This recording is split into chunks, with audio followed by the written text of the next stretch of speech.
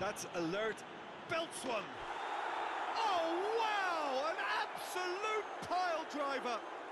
A finish of true class. With half-time at hand. Perfect timing.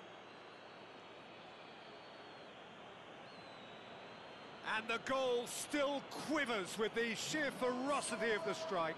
Well, with the defence facing him, he had to get that right, and he did. I thought that was a very well-worked goal.